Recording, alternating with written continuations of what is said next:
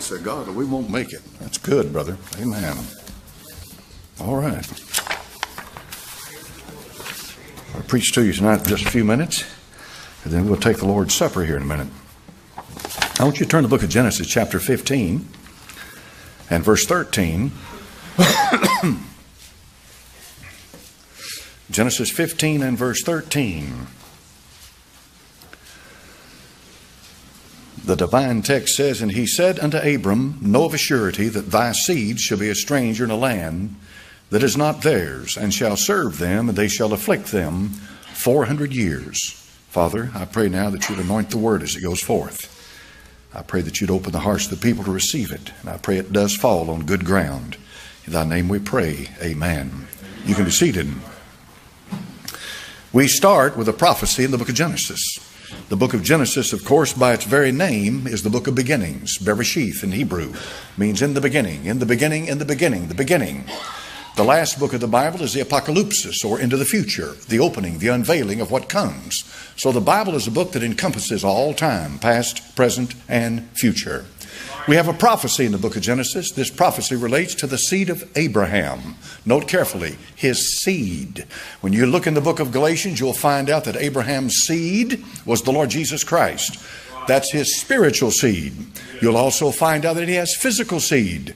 The physical seed of Abraham, the Lord Jesus Christ said, I know you are Abraham's seed or you are Abraham's children to the Pharisees, is the Jew, the Hebrew at that time, and the Jew. That's the physical seed of Abraham. Notice carefully. Know of a surety that thy seed shall be a stranger in a land. 400 years they spent in that land. Now, notice something else about this. We come to the people of the land, Exodus chapter number 1 and verse 13, and we find them in bondage. The scripture says in Exodus 1:13, and the Egyptians made the children of Israel to serve with rigor. And they made their lives bitter with hard bondage in mortar and brick and in all manner of service in the field. All their service, wherein they made them serve, was with rigor. That word rigor means ruthlessness. It means that they put the whip to their back. It means that they drove them like slaves. It means that they had no joy or comfort to be found at all in the land of Egypt. What had at one time been a wondrous thing where God had allowed them to come in under Joseph and to be spared from the famine of the land had now turned into a living hell. So in Exodus chapter number 1 and verse 13, we come to the people, the seed of Abraham, Genesis 15 13, and they are in bondage. Notice what it says in Exodus chapter number 12 and verse number 12. While there, there's a confrontation between the God of Abraham, Isaac, and Jacob and the false gods of Egypt. This is important. In Exodus chapter 12 and verse 12, For I will pass through the land of Egypt this night, and will smite all the firstborn in the land of Egypt, both man and beast, against all the gods of Egypt. I will execute judgment. I am Jehovah. I am the Lord. Notice carefully that this is a battle between the God of Abraham, Isaac, and Jacob and the gods of Egypt.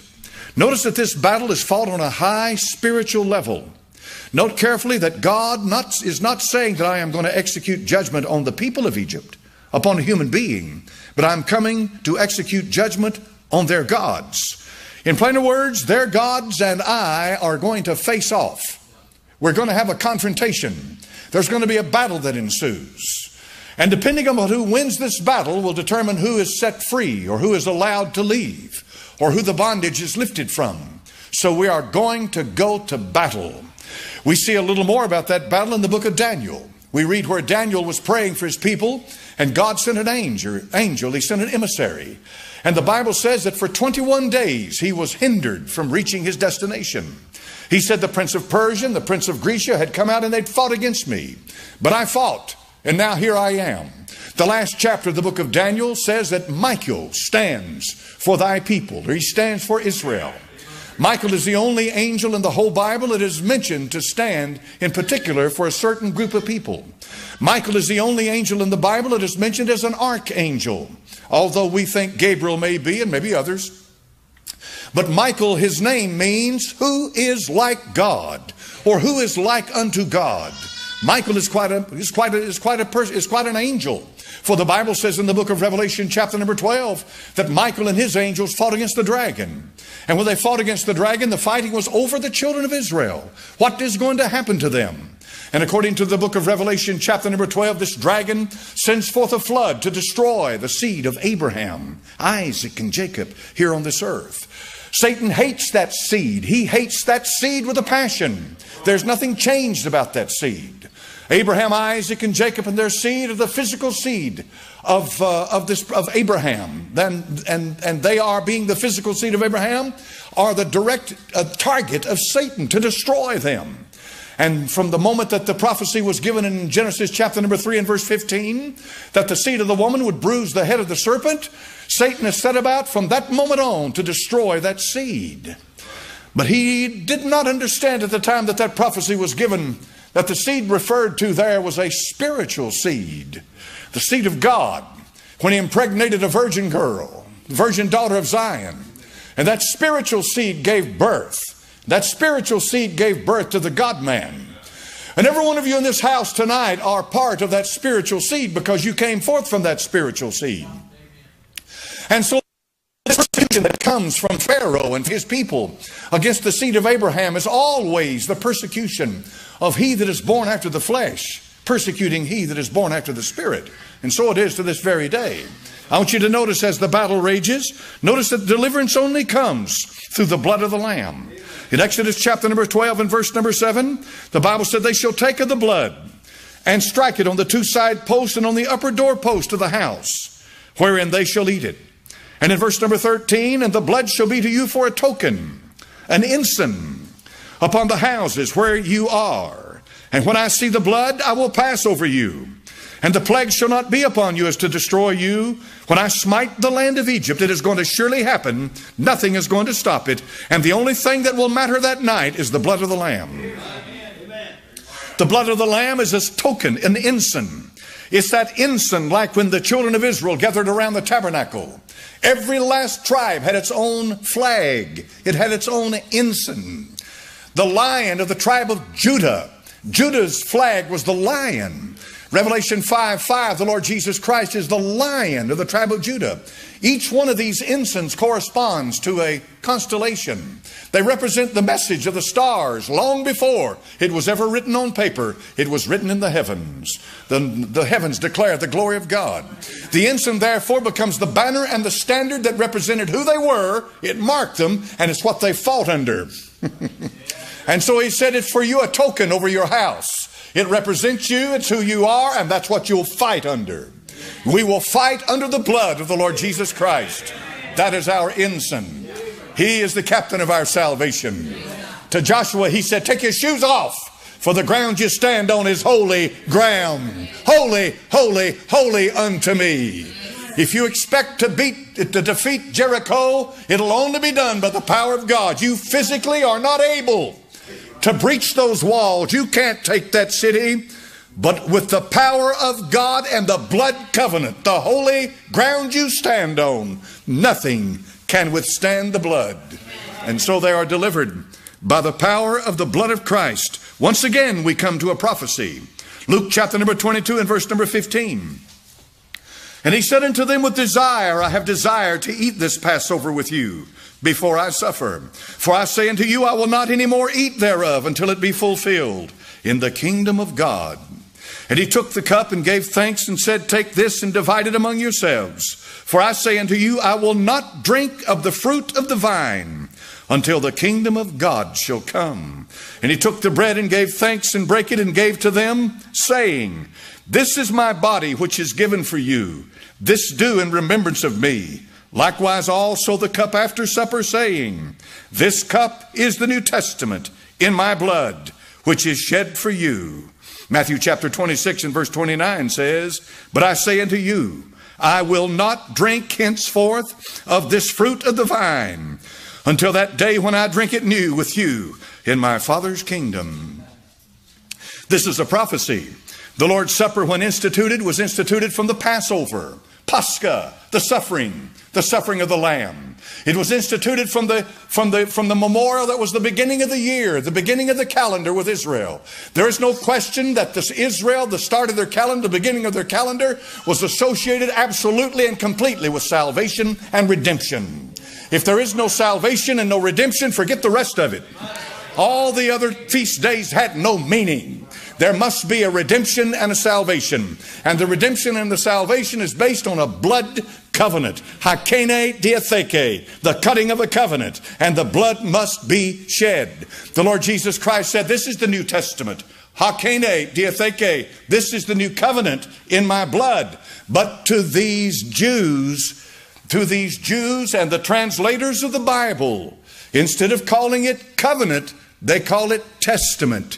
The word could have been translated covenant just as easily as testament.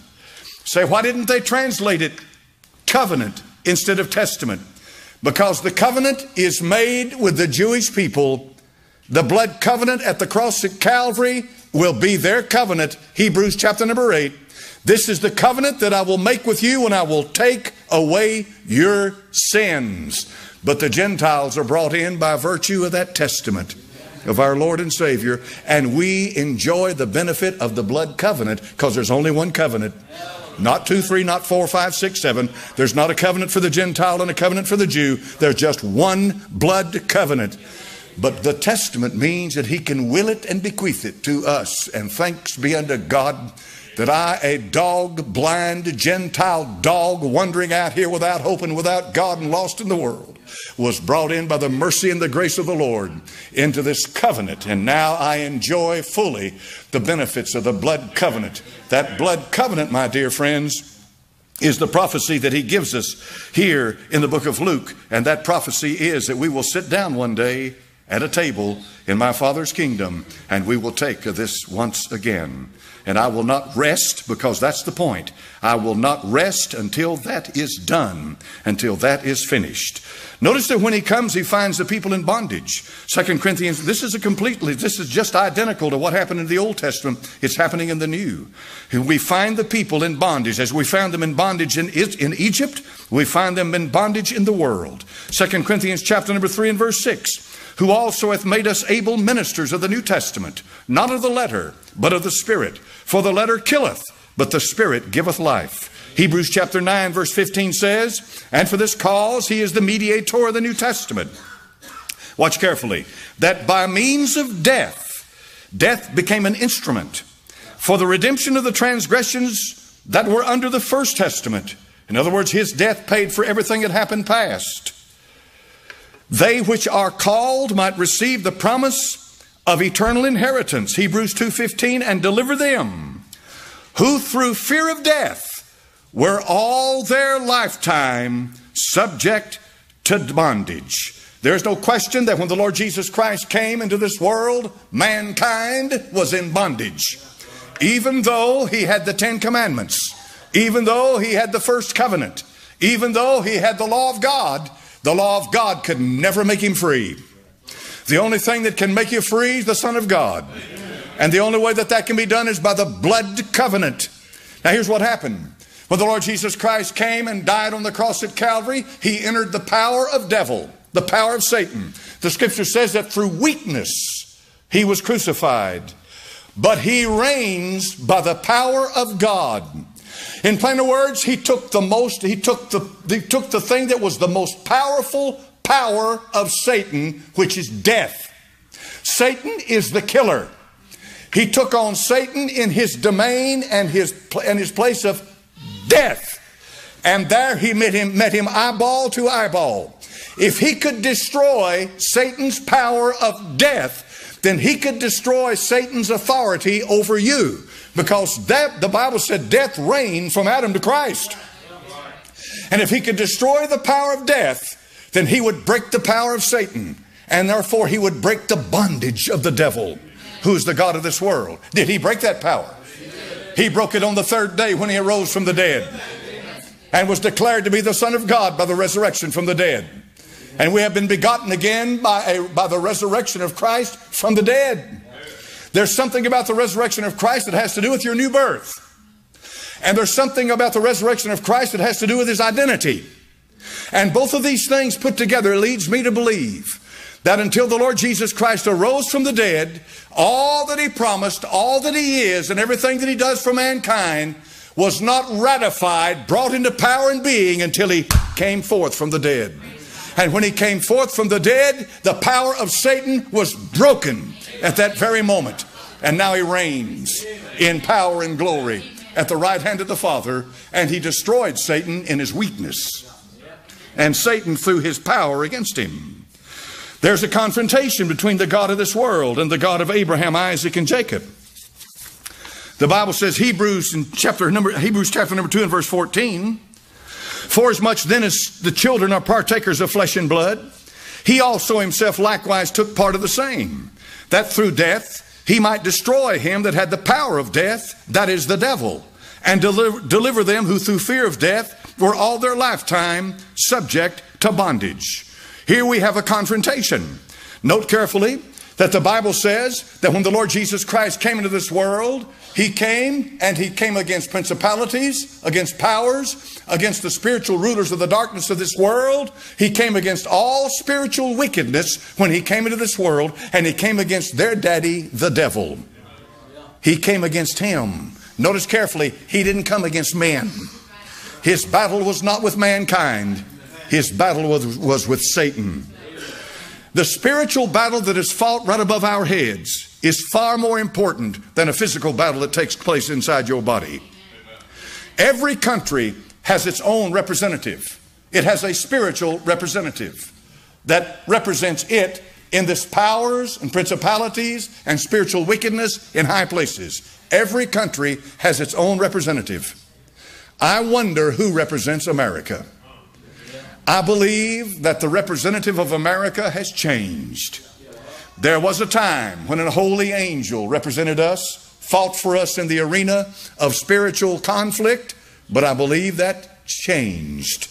And boy, what a mess we're in now. This is why the floodgates are opening. This is why you see everything in the world happening that you never thought would ever happen in your lifetime. You ladies, right now, when you go into a bathroom, have no idea if a man's going to walk in behind you and then another one with a badge on is going to protect him. And another one sitting behind the governor's chair in a state is going to protect that one. You have no idea what you're about to face when you go out into the world. Notice carefully, it is not manhood or the men that are being assaulted, it's the women. Right now, ladies, it's in a transition period, but you let these transgender men begin to compete in women's athletics, and they will completely destroy women's athletics. When the men can compete on the same floor at the same time with the women, and yet call himself a woman, yet he's still a man, you're going to see a complete upheaval of women's sports in this country. Why in the world that the feminists and the leaders of the women's movement cannot see that is beyond me. It's coming. Fact is, it's already here. I believe it was a Hawaiian, transgender Hawaiian, that competed in a women's sport in some part, I forget what sport it was, and he won the gold medal. He, posing as a she, competing against women, won the gold medal, and they let it happen. We are completely insane. We've turned it upside down. And let me give out a warning. There are parts of this country where these old rough bush men see some man go into a bathroom behind their little 14 year old daughter, something's going to happen. You'll see it happen as sure as you live. Not that I want to see it happen, but that's the way of nature. A man, if he sees a man going into a women's bathroom following his little daughter, you think he's going to countenance that? It doesn't make any difference what law they say. They say the law. What law? You talk. Let me, let me ask you a question about the law. I know I'm chasing a rabbit, but I got to get this one while I'm at it.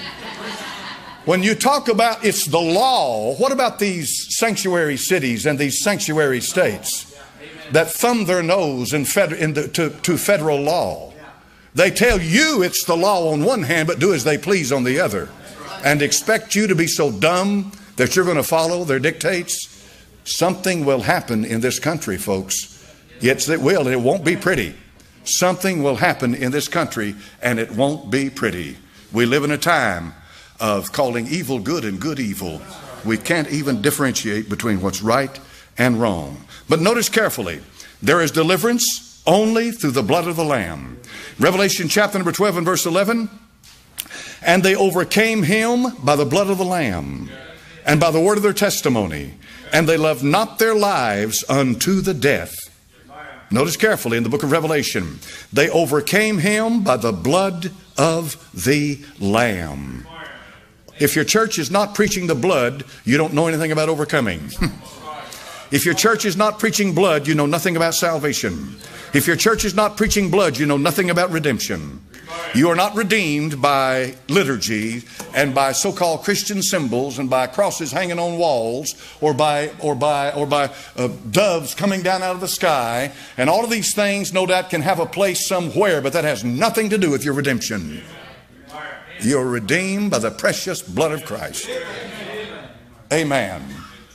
Now I took the book of Revelation and I thought to myself, since the book of Revelation is the last book of the Bible, and the book of Genesis is the first book of the Bible, so many things that start in Genesis finish in Revelation. They do. And I believe that the book of Revelation is the completion of the canon. It finishes it. I've had folks ask me about the book of Enoch. A number of them have. And they're saying a preacher should not Enoch be part of the canon. And I've said yes, and, I, am saying not yes, it should be, but in time past, Christian groups have made the book of Enoch uh, part of the canon. In other words, they say it is inspired scripture. I don't believe that. I'm going to stick with 66 books 39 Old Testament, 27 New. We don't need any more that we call scripture. So, the last book of the Bible, when it talks about blood, says this Revelation 1 5. And from Jesus Christ, who's the faithful witness, the first begotten of the dead, and the prince of the kings of the earth, and to him that loved us and washed us from our sins in his own blood. Blood washes your sins away. Revelation chapter number 5 and verse 9, and they sung a new song, saying, Thou art worthy to take the book, to open the seals thereof, for thou wast slain, hast redeemed us to God by thy blood out of every kindred, tongue, people, and nation. Redemption is through the blood. In plainer words, the blood buys you back. Revelation 6, verse 10 they cried with a loud voice, saying, How long, O Lord, holy and true, dost thou not judge and avenge our blood on them that dwell on the earth? We have the avenger of blood show up in Revelation. Revelation 19:2 For true and righteous are his judgments, for he hath judged the great whore, which did corrupt the earth with her fornication, and hath avenged the blood of his servants at her hand. The kinsman redeemer shows up in the book of Revelation. The kinsman redeemer, the most beautiful picture of it is in the book of Ruth. For the kinsman redeemer must be qualified to redeem you. He must belong to your family to redeem you. He must have the right to redeem you. And so the Redeemer had to come down from glory and took part of the same so that he could step into the arena with Satan and had a legitimate right to represent you. Have you noticed how legal all of these things are? If any man sin, we have an advocate with the Father. The reason for the legality, the reason that the Bible, now let's not say Bible, the reason that the legal profession uses biblical terms, Bible was here first. The reason the legal profession uses biblical terms is because it is a legal thing today, you're standing with God. The Bible said you have been justified by the blood of Christ. Justified means that God has declared you innocent not guilty. That's what justification means. Not guilty. You say, Well, I am guilty. Yes, but your guilt has been put on the head of the Son of God. And so God can say, Not guilty. And when Satan comes to accuse you before God, the Bible says you have an advocate with the Father. The same word translated advocate is also translated in the book of John, chapter number 16. I will send you a comforter. Parakletos is the Greek word. It means one who goes alongside, bears the heart and the soul and the meaning of the individual that they go with. He is your representative. He's your comforter. He comforts you with the power of God by the finished work of Christ, like the angels comforted Christ when he was in the Garden of Gethsemane. Remember? The Bible said the angels came and they ministered to him. So it is that when you step into the legal court and Satan has legal right to accuse you, the comforter, the advocate steps up and says, Hold on. Hold on. Everything you say is true, but it's paid for. He's been justified and he's been redeemed and forgiven by the blood of Christ. And boy, we need that. I know you don't see that happen, but it happens as sure as you hear me. This is why when the Christian, when the Christian sins, one of the first things you should do when you sin is plead the blood. Lord, cleanse me from this sin. Cleanse me from this guilt. Cleanse me from this condemnation. Cleanse me, protect me, build a wall around me. In the name of Jesus, I plead the blood of Christ. And that'll work for cleansing your sins and it'll work for sending demons away from you. For the demons don't like the blood. In the book of Revelation, chapter number uh, 7 and verse 14, and I said unto him, Sir, thou knowest, he said to me, These are they which came out of great tribulation washed their robes, and made them white in the blood of the Lamb. This is the testimony of these people that is sealed in blood. Notice carefully. They washed their robes in what? What color's blood? So they took their robes, washed them in red blood, and they came out white. right? Robes white and clean. Red blood, wash sins away, robe becomes white. Notice how it's all about sin. It's all about the condemnation of sin. And the witness is the blood of the Lord Jesus Christ. What can wash away my sin? What can make my robes white again? Nothing but the blood of Jesus. You can't live the Christian life without the blood. You can't have a relationship with the Lord without the blood. And then notice what it says in chapter number 12 and verse 11. And they overcame him by the blood of the Lamb and by the word of their testimony. And they loved not their lives unto the death. They overcame him how? By the blood of the Lamb. They didn't overcome him by their testimony. They didn't overcome him by their diligence, by their ability, by their rank, by their stature, by their money. They overcame him by the blood of the Lamb. And then finally, Revelation 19, verse 13. He was clothed with a vesture dipped in blood and his name is called the Word of God. John in Genesis 4:10 and he said, "What hast thou done? The voice of thy brother's blood crieth unto me from the ground, and now thou art cursed from the earth, which hath opened her mouth to receive thy brother's blood from thy hand. The blood is a witness of righteousness." The blood here has a witness twofold. It witnesses to the wickedness and the vile character of those that he's going to judge, but it also represents the blood that he comes to fight under. He's fighting under the banner of the blood once again. Even the Lord Jesus Christ has on his vesture blood. That blood marks him. That blood makes it important for him for you to understand.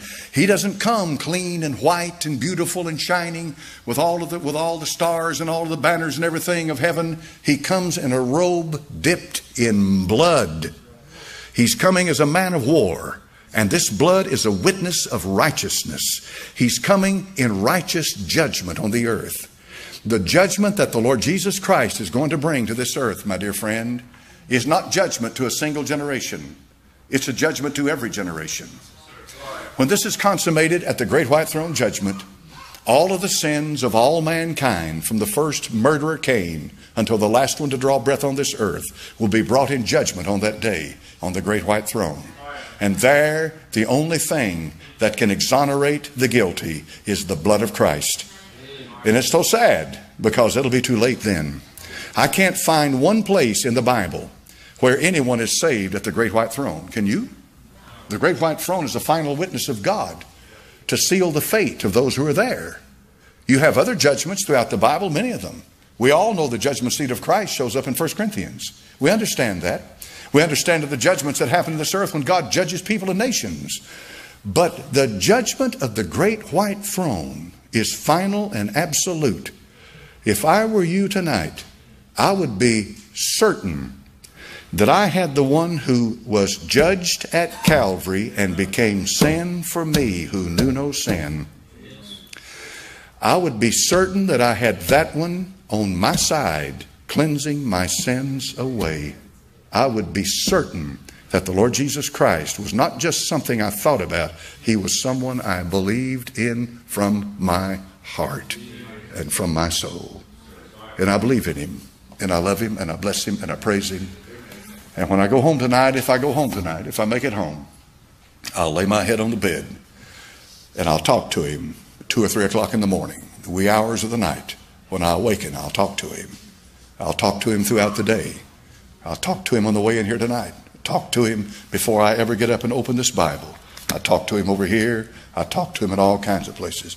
Don't ever let Satan limit you to one place to talk to the Lord. Don't let him wear you out all day long, get you busy, and then you're so wore out and tired that you can't pray late in the night, and then Satan's defeated you in that day. Talk to him all day long. Does the Bible say to do that? It's to pray without ceasing, to be in an attitude of prayer. Now, this is one of the most solemn occasions that we have in the church. This right here. This is not a sacrifice. He sacrificed himself one time for sins forever and sat down at the right hand of the Father. We are not sacrificing Christ every time we do this. What's that for? You only be, he only need to be sacrificed one time. You don't need a perpetual sacrifice of the Son of God. This is not going to be his literal body and his literal blood. It's not even going to be turned into his body and his blood because you don't need to take his body and his blood over and over and over and over again. When you took his body and his blood was when you believed on him. You accepted the New Testament. This is the New Testament in my blood. This cup represents the new covenant. You can't drink that cup.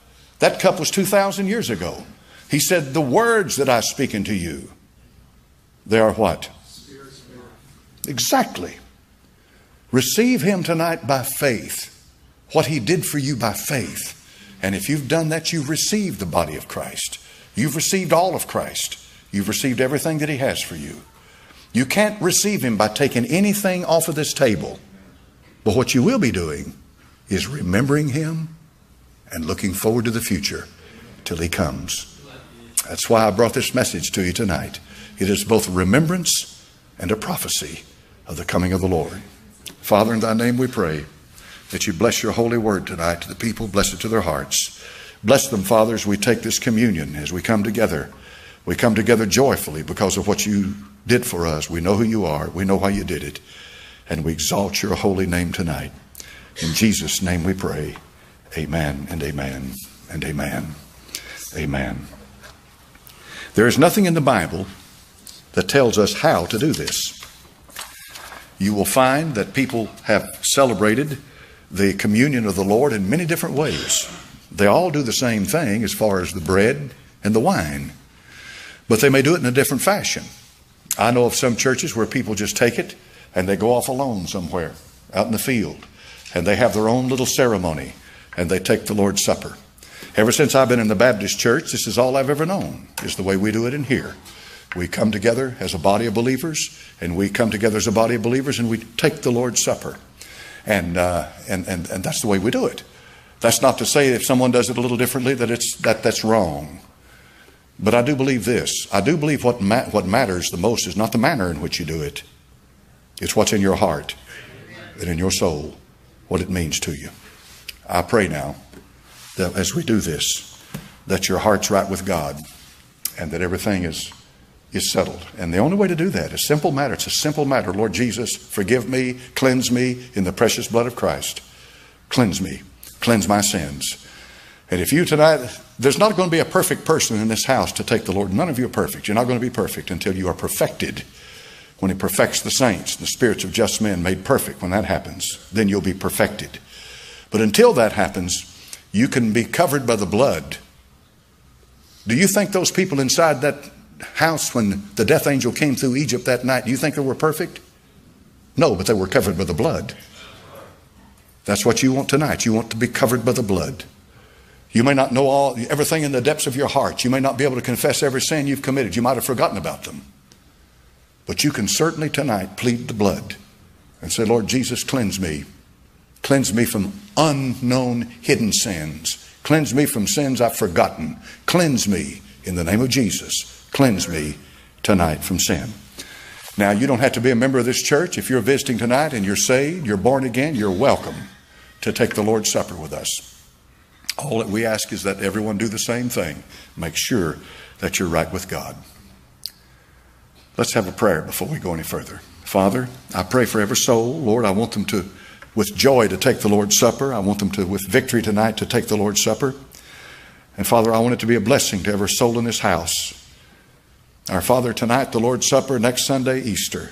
These two coming together so close as they did in history, the Passover and then the and then the uh, and then the crucifixion. I pray in Jesus' name now that you'd bless them and cleanse them. In thy holy name we pray. Amen.